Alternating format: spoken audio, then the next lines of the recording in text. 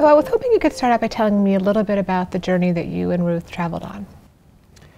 Oh, well, my wife, when she was 46 years old, was mm -hmm. diagnosed with early stage breast cancer um, and had her initial treatment uh, with uh, both uh, the removal of the mass and ultimately uh, chemotherapy and radiation. Mm -hmm. a few years at that point, she was disease free, and a few years later, uh, she had a recurrence uh, in her spine and very rapidly developed widely metastatic disease and she died about eight months after her first recurrence. Wow. And so you wrote about this experience throughout her care, is that right? Yes, uh, I wrote about her initial treatment uh -huh. uh, in a series of columns in the New York Times, -huh. and then, and all that was published uh, prior to her disease coming back, and then after it recurred and she died, I finally sat down and wrote about that experience as well. So I'd like to talk a little bit about the series and, and why you may have written it. Can you, looking back on it, was it a form of altruism to possibly help other people going through the experience, or perhaps a way of self-preservation, or something in between? Yeah, so in, by the series you mean the initial articles, presumably. Yeah. Um, so I, I have to be honest, I don't really know, I don't have a clear reason why I did it. Mm -hmm. um, I felt compelled to. Mm -hmm. I thought I was seeing things that, as a doctor, before my wife was ill, I should have been more aware of. Mm. And the there was, you know, it was a bit of a special circumstance in the sense that she was a cancer patient at Memorial Sloan Kettering Cancer Center, a place I had already been a doctor for more than right. 10 years. So I had, you know, walked through those halls. Her doctors were my friends. It was couldn't have been a more familiar environment, workplace, and healthcare interaction mm -hmm. than the one that we were experiencing as she as a patient and I as her spouse. Uh, and yet it was completely new, hmm. completely different. And I felt like I was seeing things and observing things and realizing a perspective that I should have had all along, okay. and that I needed to communicate because I did have this sense that, wow, if it's eye opening to me mm -hmm. in this, you know, very confined kind of environment where I work and live, and sure. uh, and even there it's eye opening. I mean, what must this be like for other doctors, for other patients, and what's really going on kind of on the other side of the desk? Mm -hmm. And it was actually an interesting experience for a lot of reasons, uh, but one of them was when when you write in the New York Times, you know, that goes up on the internet and there's these comments and things like that. Sure. And people left a mix of comments. Some were very sympathetic to what we were going through, mm -hmm. but others were actually quite hostile and just sort of said, What's wrong with you, doctor? You've been doing this all along and you didn't realize what this experience was like. And that, it, it caught me as odd. Yeah. Um, I wasn't hurt by it. I mean, if you write in a public venue, especially on the internet, you expect everybody to come out of the corners and say what they think, but uh, it was sort of interesting because that being berated like mm-hmm. that, the irony was I was already berating myself. Right. It's like, yes, you got the point. I have been doing this every day mm-hmm. and had no idea. Wow. And uh, so it was really, um, I thought it was worthwhile yeah. to write about. And I feel like after the fact, I've gotten some you know positive feedback sure. that some of the things I had to say, I did resonate with other doctors mm -hmm. and mm-hmm. in some cases with patients. Mm -hmm. uh, and I have to tell you, I had way more material than I ever wrote. I mean, there were so sure. many aspects of it that I hadn't really understood what the human side was mm -hmm. like mm-hmm. until I had gone through it. You mentioned the human side, so uh, was Ruth reading your columns before you sent them in? Was she oh. kind of the last editorial yeah, she, stop? She was the, as they say, the top editor. Yeah, that's, yes, exactly. She, uh, yes, she read everything. She read it. I wrote it all as one, essentially one piece. Wow. Okay. And then eventually segmented it right. into these sections of 800 to 900 words right. uh, as, as uh, period, as mm -hmm. moments. Mm -hmm.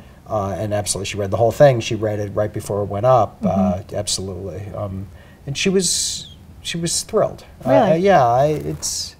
um, you know, she was healthy, she was disease free when all this ran.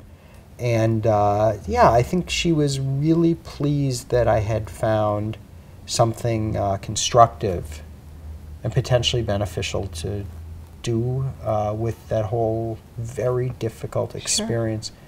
And I think, frankly, you know, different people are different. Some are very shy. I think she thought it was kind of nifty mm-hmm. that people were reading. It was more than nifty. She was glad that people were relating to her experience mm-hmm. too, not just mine. I mean, the mm-hmm. columns very much focus on my experience right. as a doctor, but I think it was validating for her. I mm-hmm. think it brought it into the light, and much of what I talk about in that, and as well in the New York Magazine article, is about this sense that illness secludes you, mm-hmm. separates you from kind of the regular people. Mm-hmm. And I think that at least brought out this somewhat secret or private experience. And she was never secretive about it. Mm-hmm. She was very open. I have breast cancer, I'm getting chemo, I mean, very mm-hmm. open. Mm-hmm. But uh, it brought it out into the sort of regular world of people reading the New York Times, saying, okay, here's a person who went through this thing, it happened. Mm-hmm. Mm-hmm. Interesting. So I'm struck by the duality that you talk about of being a cancer doctor as well as being a caregiver for your wife, and, and that sometimes doctors aren't always honest with their patients. And I'm wondering why you think that duality may exist. Um, well, first of all, I think there's every doctor-patient interaction is different. Sure. Doctor, the doctor's different, the patients are different, uh, but I think that it's in general easier and more expeditious to gloss over complexity and nuance. Mm-hmm. And it's also a lot easier in any particular visit to just talk about what the action plan is than mm-hmm. to talk about the effects of those actions. Mm-hmm. And so I think, you know, we, I talk about in the column, something that, this is something I was well aware of long before I went through this experience, was this sense that you know we've created a world for ourselves as doctors where we can safely move amongst human suffering mm-hmm. without it destroying us. Mm-hmm. And any normal empathetic human would be mm-hmm. destroyed eventually by mm-hmm. that. And I think mm-hmm. some of my colleagues, I think it is hard over time. But we need a way to sort of do what we need to do and to be much more objective than you can be as a family member. I wasn't ever supposed to be Ruth's doctor. Mm-hmm. Uh, and um, that insulation comes at the price, I think, of transparency and clear communication mm-hmm. sometimes. And I, it's, I don't want to generalize. There's a lot of patients, there's a lot of doctors out there, but I think there's certainly, at least in some contexts, uh, more unintentional uh, deceit mm-hmm. than, um, than is desirable. Let's talk about delivering bad news. What do you think, uh, from your experiences as a physician and, and your experiences with your wife, is there a good time to deliver bad news? At one point, you talk about not being ready to hear some of the information that was being delivered. And I think sometimes in this country, we wait, we wait until the end is imminent, um, knowing very well that the data shows otherwise, that that may not be beneficial to the patient. Is there a right time to deliver that information? Um, there, I don't think there's a right time, but I would, I mean, nobody ever wants to deliver bad news, and it's always kind of is difficult to receive it. But I, I think the waiting for the right time is, it's a bit of a bogey. Uh, mm-hmm. Uh, that as if the next day somehow it'll be less devastating, or as if some force will intervene and the news will magically be delivered, or some a miracle will take place and the facts on the ground will change. Mm-hmm. Uh, but I, I think I do feel comfortable saying that we are too slow mm-hmm. Um, uh, to deliver bad news. We're not particularly good at bracketing it within the context of what we're doing. And to me, to some extent, and now I'm going to sort of talk from a bioethical perspective, yeah. sort of undermines the whole notion of consent or sort of collaborative care that we expect or desire to have with our patients because we know things they don't. Mm-hmm. And we're parceling out that information in the bite sizes we think they can accept very little insight into even if those are the right sizes or timing. And I do talk about when Ruth recurred, she developed a back pain, sort of figured out what it was through some imaging tests. And her doctor told, we were in Argentina at the time, her doctor was in New York. Doctor told her she was going to die over the phone. Wow. And it wasn't like, you're going to die, I have to go. I mean, it was delivered in a very sympathetic way, and it was bracketed by what we can do. Mm-hmm. But the one message, I actually, haven't asked him, but I suspect if I asked him, what was the one message you wanted to make sure to convey during that conversation? Two messages, probably. He would definitely say, I wanted to make sure she knew she was terminal. Mm-hmm. And the other was that she had to get back because she had risk of cord compression. So mm-hmm. I think as a practical matter, sure. he probably would have said that trumped it. But the, in terms of communicating where she was, that was the piece of information that she had to get and digest so that everything else could be seen through that lens. And I think I deeply admire that in him. It was the perfect thing for her, as bad as the news was. She would have been furious if she had been even softly told something that suggested anything other than that if it wasn't true. Mm. And that the notion that she would fly all the way back thinking one thing only to later find out that no, that was never the case, that you know the treatment would cure her or something like that, or could. Um, it was it was really sort of an admirable moment of doctoring, and I got a lot of feedback about it from some of my colleagues. Mm-hmm. Some of my colleagues talked to me after that too and said, you know, that doesn't sound right. That doesn't sound like the right way to deliver that news. Mm-hmm. You know, and I they're wrong. It was, it was exactly the right way. Mm-hmm. It was given the constraints that we were 8,000 miles apart or whatever. Mm-hmm. It was the way to do it. What have you learned now about the idea of delivering news that a patient is terminal that you didn't know back then when you were just a doctor? And could you have learned that back then, or did you have to go through this process to, to kind of get there? Um, yeah, I don't think. I don't think I needed to learn that. I think what I watched her doctor do is consistent with how I would have wanted to handle that situation. And you know, as a doctor who works in intensive care units and takes care of people with serious lung disease, that that felt intuitively right. Like you mm-hmm. have to frame what's going on therapeutically or diagnostically with what the overall situation is, what mm-hmm. the arc of the, of the illnesses, what can be modified, what can't. Um, so that felt familiar to me, but the, it was still very different when it was my wife. And it was a hard reality. Mm-hmm. Not hard as in difficult, of course difficult, but hard as in immovable. Um, and that's very different from the experience of communicating that with a patient and then going on seeing your next patient or going home mm-hmm. or going to, for your tennis game. So, how has this experience changed how you are as a doctor and how you are as just kind of a person? Um, well, the, the person part is, I mean, it's so complex, right? I've lost, I've lost my spouse. I've lost the mother of my son. Uh, it has not changed my outlook in life. Mm-hmm. I feel just as lucky to have met her mm-hmm. actually here in Baltimore um, 20 years ago. Wow. Uh, I feel just lucky to have met her mm-hmm. today as I did back then.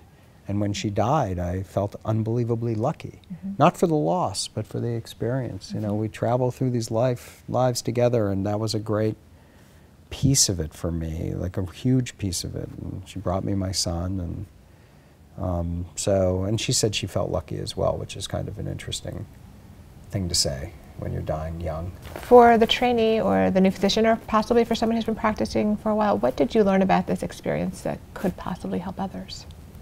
There's a lot of pieces to mm-hmm. this, and I don't think there's an easy answer about how to be better doctors than many of us are. Mm-hmm. And it'd be easy to sort of spout some platitudes. You should listen to patients better. You should try and put yourself in their shoes.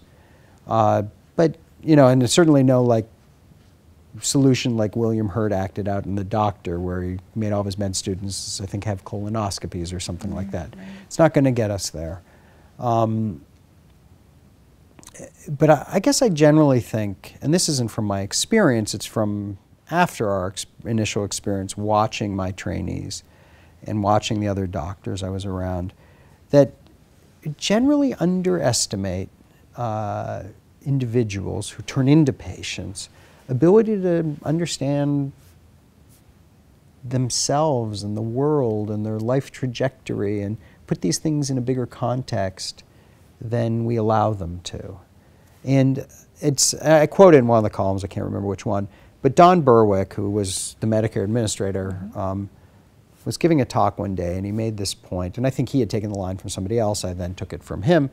But he said, You know, I used to think of patients as, you know, guests in my hospital, and now I realize I'm a guest in their lives. And maybe that's not exactly what he said, but something like that. And that really resonated with me. I was like, yeah, and this is after I had been through this. I was like, yeah, that's right. Like, we, it's not ego, right? But like, we waltz into patients' rooms and we think their life is about their illness mm-hmm. and what we're doing for them and how we want to help them. It's all coming from good places. Sure. And so we try and protect them in terms of how we explain their illness or leaving things out or using vague terms that you know don't have concrete meaning necessarily. It could be there's wiggle room in how to interpret them, right? We don't say simple things necessarily like, you know, this disease will kill you if something else doesn't get you 1st or this disease will kill you and most people are dead by three years, whatever. Um, but the reality is, it's in the context, that's a small part of these people's lives. And so they're able to frame, I, I think most patients can put into context more information than we give them and figure out where it all fits. And, you know, most people actually do realize they will eventually die. And I actually don't think you have to have a separate board certification to communicate that. And I, when I listen to my trainees, you know, back when I was on the wards, I would often pull them aside and say, you know, we would leave a patient's room, I did inpatient service mostly, and say, what do you think they heard from what you just said? Yeah, that's an interesting question. And usually the response is the same exact thing they said in technical terms. And then I would usually say, well, let's go ask them. And then in would go, Okay. and that's not at all what they heard. Mm-hmm. Right? And it's, it was a pressure packed situation. I'm standing there on top of them saying, articulate, for, answer this question, tell me this. But in fact, you know, that, and then, you know, the sort of discussion is like, okay, let's figure out what the goal is of delivering this information. Is it perfunctory? Mm-hmm. Like, I'm seeing the patient, I have to say I said this so I can write it in the chart and I move on to the next patient. There's a big part of that, and I get that. But like if we're actually going to try and communicate this complex information, it's actually much more important that it's heard than that we say it. So I actually think that's kind of a useful exercise. Mm-hmm. And many doctors do that. I didn't make this up, right? A lot of doctors do go through this drill where after they explain things to patients, they say, now tell me what I just told you. Right. And that can be a very uncomfortable moment, even when you do it well, uh, because patients feel like they're being quizzed, because they feel like they're put on the spot.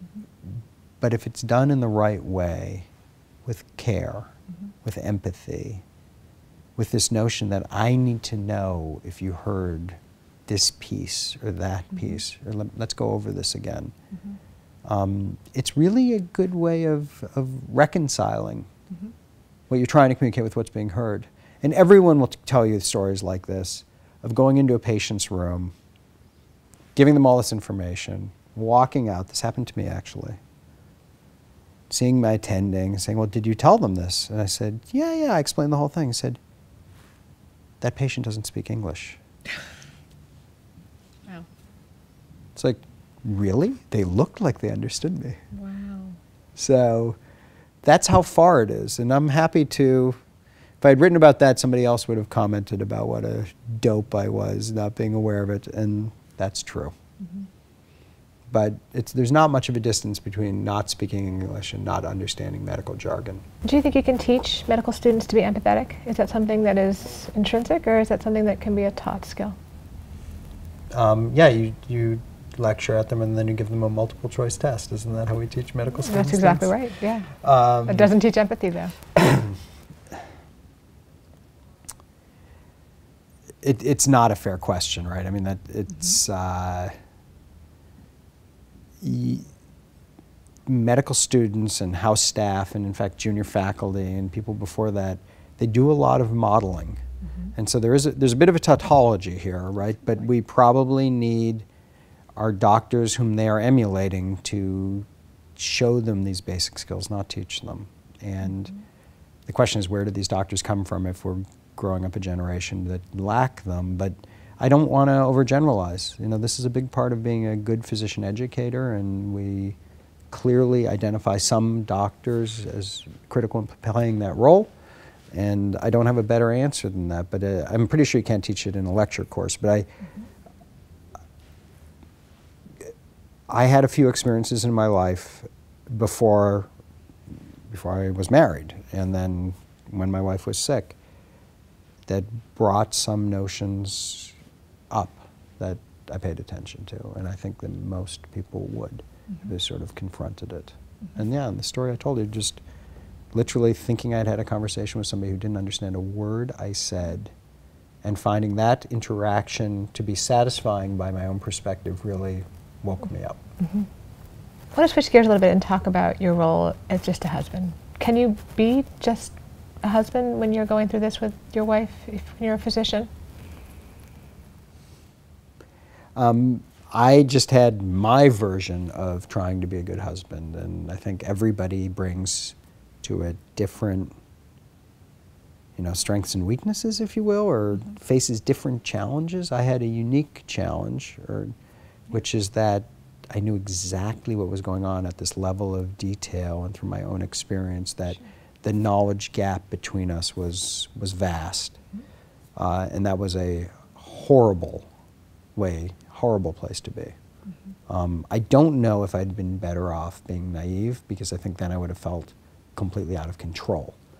Uh, instead, what happened was I felt in control, not of her illness, but of the knowledge around it. And I felt that driving a wedge between us because Really? of because I knew what was happening and I knew, and I wrote about this. I, I think I said I could see the future. I knew that. I think they took the metaphor out, but um, our lives had been sort of twined together, and I could see that kind of one of the th- threads was going to stop, and the other one was going to go on.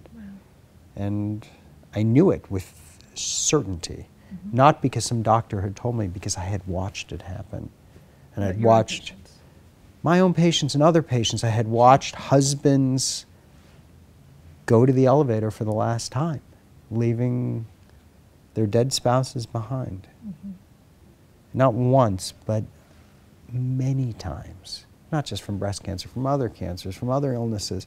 I had watched that separation at that moment actually occur. I'd declared people dead mm-hmm. and stood there. Mm-hmm. And so I knew exactly what was going to happen. Mm-hmm. And did Ruth feel powerless by this, this lack of knowledge? Um, I think she felt a little. I don't think she felt powerless through the lack of knowledge because I think she felt she had a pretty good grasp of what was going on. She definitely also sensed that there was something else going on that she didn't quite grasp, that she didn't quite have full knowledge of. And that was a very difficult um, feeling to uh, assuage. And I, honestly, you know, you, I hope I never go through something like this again. Uh, but there are aspects of it I could have done better. That's probably one of them. Was trying to find better, smarter ways to bridge that gap. But the other thing is I was paralyzed by fear in so many ways that you know, I can look back, it's now three years, I can look back rationally and say, oh, I should have done this, I should have handled this this way. But at the time, it was the combination of the clarity with which I knew what was going to happen and the fear of confronting it was, you know, pretty paralyzing, those two things together. Yeah, sounds like it. You wrote in one of your columns, uh, I knew more than I should. Did this ever help you, or is this the type of situation where ignorance may have been bliss? Uh, so mechanically on the day-to-day stuff, obviously my medical knowledge helps helped a lot. Like, okay, you have this going on. I know which doctor. Right. The fact that I was a doctor at Sloan Kettering meant that that doctor would email me back or call me back immediately. Um, but yeah, I think that the it it could have gone many different ways, but the the chasm between my knowledge and hers was bad for us as a couple. Um, but if we had both been more naive, I think that can fuel a different kind of anxiety mm-hmm. about not knowing and not being anchored and what are we missing and what could we be doing. And I think I've seen people who sort of where no one is anchored to what's actually going on, almost like verge on, on I don't want to say hysteria, but just sort of a, a, a steady state of panic. Um, that it might have been better for us as a couple, as a unit, mm-hmm. but not better for her actually, mm-hmm. because it would have been sort of bouncing off the walls with no purpose. So I don't know. None of it's good. Um, the whole experience was bad. Mm-hmm. Um, uh, but I can't say, like, given a different set of facts in my background, sure. better off, worse off, would she have been better off, worse off? It's, it's not totally clear.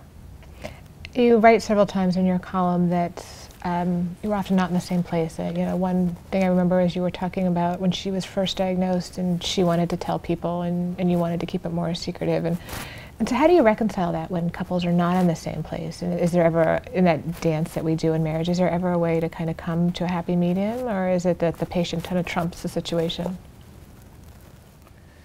Yeah, so, you know, in a marriage you learn a lot about yourself. True and if you're lucky enough to be married to somebody who's a hundred times smarter than you in every respect, like I was, uh, you know, you're stupid if you don't do a lot of listening. She was right and I was wrong.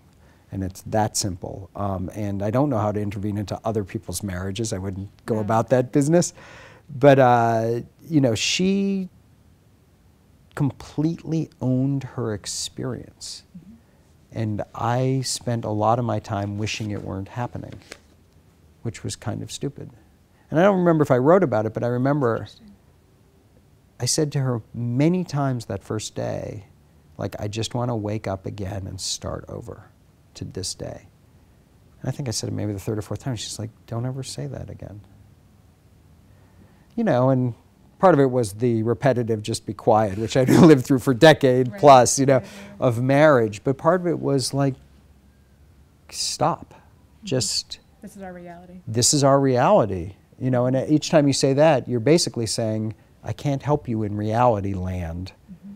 because I'm still trying to not be here. Mm-hmm. Um, but no, she was absolutely right. She's like, of course we tell our friends, like, this is what they're for then she's brutally logical about we'll never be able to keep all the lies straight, right? And like, and not like it wasn't a big deal, but at some level, like, what's the big deal? Like, this isn't, this is awful, it's tragic, but it's nothing, there's no shame. Mm-hmm. There's nothing to hide about it. Mm-hmm. Um, so, like I said, it was just like, she was right. I was just being stupid. I was being cowardly. This is why I think, like, we're a little bit too cautious with patients. We're a little bit too confident that they don't want information that they actually do. They've, they've carried their entire life to that moment where they're with us and we have this bad news that they don't know. And then suddenly we're the experts in how they should figure out what the next step of their life is, having met them for a few seconds and sometimes not even realizing they don't speak English. And you know that it's it's not it's not because of paternalism. It's because we don't. Nobody wants to be in that situation. We're like, "Hi, nice to meet you. You have a terminal illness." Mm-hmm. But that's actually our job, mm-hmm. and it's a little naive to think that people walk in, and we can size them up and figure out how to give them that information. What do you do as a provider, if you can put that hat back on for a second, when the patient and the partner may not be in the same place? I guess your job is the patient, right? But well, yeah, I mean, you certainly don't want to get in the middle of it, uh, but yeah, I think that your job is is to like dealing with the person who brings their whole life history and their whole version of owning their own life and trajectory with them, the couple, the family, they bring all of that with them. Mm-hmm. And you can try and mediate, but I actually think I don't want to use the word interesting because it sounds so dispassionate, but I've always found interpersonal interactions within families around crises very interesting. And so many things you see, and you're like, I know what you were like as a five year old, you know, sort of. And that's not an insult. You can just see the inter sibling dynamics and things. And, you know, being in the ICU and talking to people about end of life and DNR, you see a lot of this stuff come out. And I've always felt like the best route and I was always taken as I don't I can't manage these. I don't understand this well enough. I don't know anyone here, but I know that my job is to convey the truth mm-hmm. as best as I understand it, right? And I don't have perfect knowledge, but and there's a lot going on, but I don't assist it by trying to add another level of opacity. So, yeah, I think the job is sort of just advance the actual facts mm-hmm. Into whatever is going on in terms of interpersonal mm-hmm. dynamics. And yeah, absolutely, the patient carries the day mm-hmm. in all those interactions. Um, I spend a lot of time, even now, talking to family members and people who are ill because by dint of friendships and relationships, I find myself in those conversations a lot uh, and also because I've been pretty open about what the experience is like as a caregiver. Uh, people reach out to me, and it's uh, there's a lot of layers of people trying to protect one another, mm-hmm. and that's normal and to be expected, and part of what my experience was as well. And I don't see a role for the provider being adding yet another layer and buffer to that, because we actually can't be that helpful in that sense. At what point in your column you say you were talking about Ruth? Before, this is um, when you were talking about having a recurrence before when she was first diagnosed, and he said it doesn't matter; it will either happen or it won't. And he asked if you'll live any differently. Looking back, do you think that was the right approach? It was, and it, it was one of those moments where I, I was sitting there. I was like, I have got to write about this because, again, you know, here I'm not even talking in that column about the, the, odd experience of being a patient or the spouse of a patient instead of a doctor in my hospital. I'm talking about something that I do work in, in this mm-hmm. case, you know, epidemiologic, outcomes research, chance of recurrence given an adjuvant therapy or not. And he formulated the notion, the question about the probability of recurrence in a way that I had never thought about because I think about these things statistically mm-hmm. and in terms of populations. And being sitting there, there was no populations, there were no statistics, there were just the two of us. Mm-hmm. And it was really jarring, just like I said, for him to say, that number doesn't matter. Because it's a, I'll be statistical for a second, it's not a probability, it's a binary event. It will happen, it won't. Why do you want to know about it? And any number of people, maybe most people would respond to that and say, How dare you keep a piece of information from me that is my right to know? And he acknowledged, he said, Look, if you push me, I'm going to tell you mm-hmm. this number. I can calculate it, mm-hmm. no problem. Mm-hmm. But it was sort of this deeply philosophical moment about illness and death and being human and about the risks we face that we can control and we can't control. and he was completely right. It was like, wait a second, that actually doesn't matter. This thing is going to happen. It's not. In fact, in our case, it did. And nothing about life was affected by it, except the probability that we'd see 2010 or mm-hmm. 2020 or whatever. We couldn't do anything about it. It wasn't like, and I think it's crystal clear the way I explained it. He, it wasn't like we had a therapeutic decision to make. Mm-hmm. It wasn't like, mm-hmm. well, if you have this treatment, you change your probability by 4%. Right. That's a different conversation. I mean, no, no one would countenance hiding information. Mm-hmm. It was purely like, we are going down this road. These are the treatments you're going to get. And the probability of recurrence is knowable and irrelevant. And, and I thought it was so life affirming. Mm-hmm. In my own domain, like statistics, mm-hmm. to see them that way, to realize what it was he was doing, that he was in the business of taking care of us, not populations, and in the business of communicating information in a way that we could best take it with us in terms of its more existential meaning.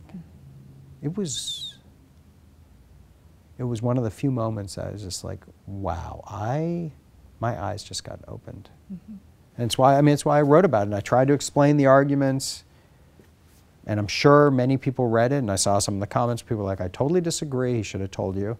And I've had people still to this day say, I hand every one of my patients with breast cancer that column when they asked me that question. Wow. And he didn't close, like I said, he didn't close the door. He asked us to think about it. Mm-hmm. And when I thought about it, I said, right, this is about walking out of here and living our lives. And if this comes back, this beast, then we'll deal with that. And until then, we won't.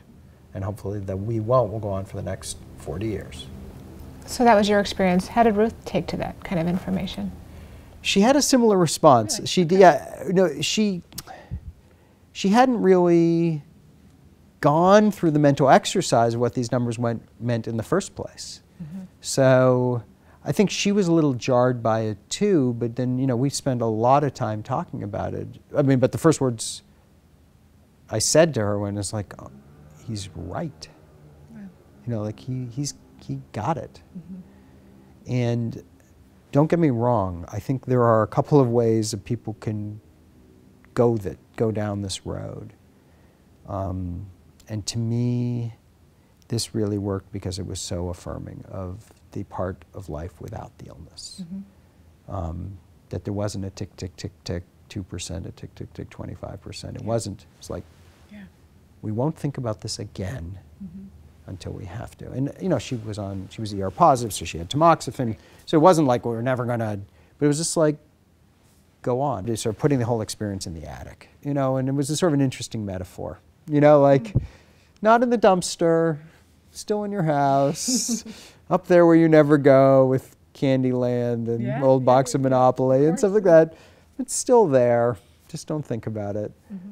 And it was sort of, I, I got that too, you know, like it's, he sort of had a frame of reference that worked for me. So it doesn't sound like you would have prioritized life any differently, given the odds. Or would you? No. And that was another thing. And again, I take it from my wife, but uh, she was a, you know, drink life to its lees kind of gal. And just, I mean, she was serious, she was professional, sure. she was, but she was not waiting around for anything. No, like when we retire, we'll go to Italy. When we retire, we'll do these things. If we just do this thing finally, then we'll do this. She was never like that. She was like, okay, I wake up today and I'm going to go live my life. And she was always like that. And, and I talk about it in the article in New York Magazine. I mean, in the last months of her life, we, you know, went to Europe. We went to, you know, we burned through all the mileage we had, mm-hmm. and we went and did the things that we would have done anyway, even more compressed. You know, off to Istanbul for my birthday, went to the Caribbean. Mm-hmm. I wrote about the Istanbul. I think it didn't make the last cut, but uh, you know, we went to Paris right before she died. Mm-hmm. You know, so she was help prioritize the things that were important. No, we would have done it anyway. We would have done it anyway. Yeah, well, I mean, by the time she had metastatic advanced disease and stuff, no, there was a there was a sense of urgency. Mm-hmm.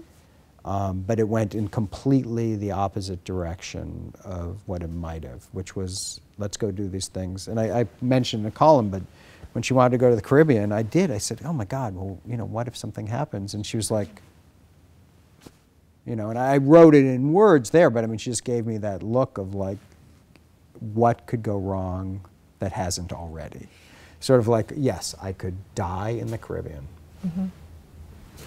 Let's go. Was she able to, to pass away with no regrets at the end, saying that she had done everything that she wanted to do in that last year? Oh, it's not a conversation we ever had. Really? No, and it's not. Uh, I- mean, I think for her, and I kind of think for me philosophically, life is a sort of never-ending or renewing resource, right? And it sort of it goes until it doesn't. Right. And so, you know, the whole like bucket list, stuff like that, that seems like crap to me. Mm-hmm. Like, you, or at least the way I've tried to approach my life is just sort of like, I'm going to go do the things or be the person I want to be or achieve the things or interact or, you know, when I can. And then someday, death or disability will take away my ability to do that. Mm-hmm.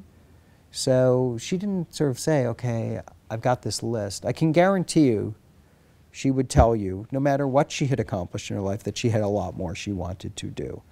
And it is the greatest sadness, persistent sadness in my life. Not that I miss her, which I do terribly. And not, you know, the, my son lost his mother, which is this curse. But uh, that life is keeping hap- keeps happening, and she would have loved to have been part of it and seen it. Mm-hmm. Like little things and big things, like with my family, with a great movie that comes out, mm-hmm. with a cool event that happens. Mm-hmm. You know, and I look at those things always like she would have loved this. You know, like even even minor things. You know, like that's too bad. That's what she would have liked doing. She would have liked this sunset. She would have, you know, that kind of thing. Like that sucks.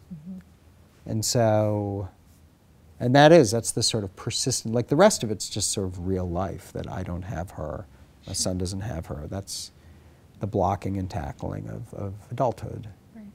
But that's the thing. She, she would have never said, oh yeah, I've seen enough sunsets now. I'm good. Not sure you ever do, right? I hope not. Yeah. God forbid you never see one of them and pay attention, but Yeah. And as I was reading your columns, um, one of the things that I felt like was so, almost a dagger through my heart, you said um, our life together was gone and carrying on without her, with exactly that, without her. I was reminded when our friend Liz cites after she lost her husband to melanoma, she told me she had plenty of people to do things with, but nobody to do nothing with, which just Yeah. brought tears. I mean, that is just so hard to kind of swallow. And my question for you, in that kind of reading back your quote, is what does healing look like now that you're a couple years past her passing? yeah, that's a great line. That was really, yeah. Um,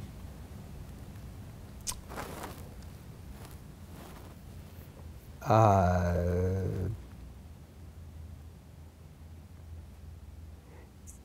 you're asking me to sort of take stock of the last three years, and the one thing that's clear to me is that I've already gone through so many states of grief and mourning and living life and those being intermingled that I, I have no idea how many are ahead of me. Mm. Each time I get somewhere, I'm like, okay, now I know what's happening. Mm-hmm. Now I know where I am. And then I'm not there anymore. And so I wish I had good insight, and I got zero. I'm like one foot in front of the other, mm-hmm. finding joy in things when I can, trying to mm-hmm. make good decisions, you know, as a father, you know, and professionally, and just. I, I kind of figure like everything's been upended to some extent that will never, the, you know, the, the wobbly will never stop wobbling. And just like the magnitude of its, of its excursion will slowly diminish, and that'll be it. You know, till it's imperceptible or maybe not. So has it gotten easier or just different? Uh, um, easier, Okay. uh, but omnipresent. So, but I've got stuff I have to do. You know, I have a life I'm supposed to lead, and uh, I have things that I have to do for the people in my family. And the one thing Ruth would have been really pissed about is if I had retreated from that because of this. I'm Did- pretty sure she wanted me to go out and be the person I was when she met me.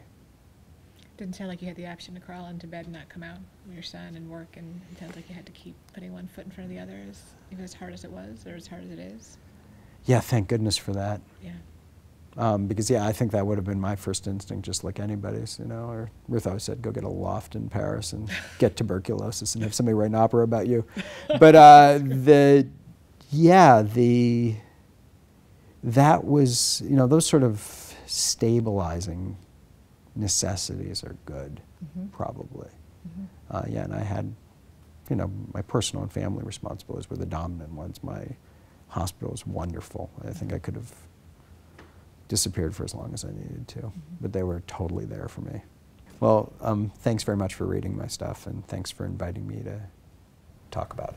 Thank you so much for sharing your experiences with us. This has been great. And thank you for joining us.